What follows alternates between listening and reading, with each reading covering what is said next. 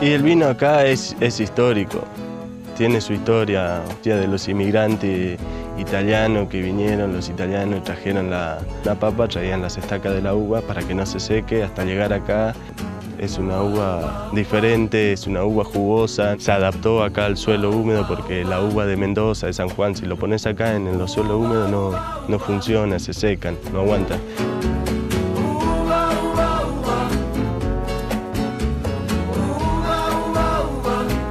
Acá lo plantaron entonces como que tiene, vos le decís, el vino de la costa de Berizo y tiene su historia. Lo nombran el vino de la costa, porque también hay en Avellaneda, hay productores que tienen.